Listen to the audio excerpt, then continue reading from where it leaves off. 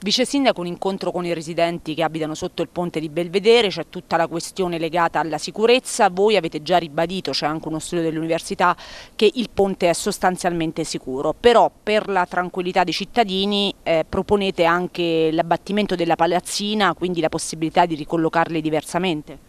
Sì, eh, il ponte è tecnicamente sicuro e quindi amministrativamente non ci sono problemi. Eh, abbiamo esaminato la problematica del ponte da appena abbiamo avuto l'onere e l'onore di guidare la città dell'Aquila dopo che per più di otto anni non si era presa una decisione, probabilmente nel dubbio se abbatterlo completamente o sostituirlo eh, parzialmente. Eh, abbiamo preso la decisione della sostituzione della campata centrale proprio perché avevamo uno studio, abbiamo uno studio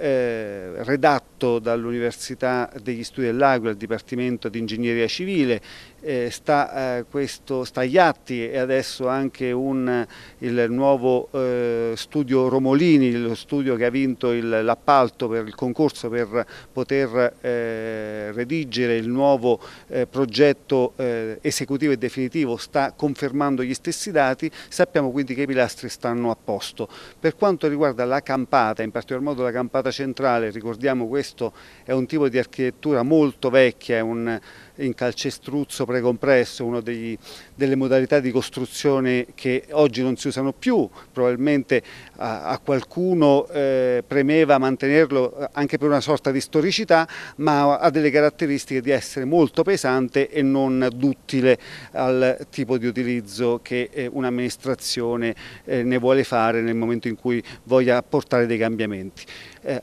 deciso, abbiamo deciso con una delibera di giunta di dicembre di sostituire parzialmente eh, il muro, in particolar modo tutta la campata centrale lasciando gli stessi pilastri. Le abitazioni sotto il ponte oggi costituiscono una perplessità eh, dopo il disastro di Genova ci si è chiesti se valga la pena mantenere delle abitazioni seppur eh, sicure, eh, dato che eh, dopo il terremoto, seppur costruite nel ventennio, dopo il terremoto hanno, del 2009 non hanno avuto alcun danno, se valga la pena mantenere eh, queste abitazioni al di sotto di ponti, ma non ripeto, non per la precarietà dei ponti che comunque abbiamo già potuto eh, constatare eh, non soltanto da Genova ma anche in altre situazioni il cemento armato ha una vita e quindi anche questo ponte ha una vita eh, alla fine della quale bisognerà prendere dei provvedimenti, quelle abitazioni potrebbero essere abbattute proprio perché eh, il pericolo vorrebbe essere costituito anche dal,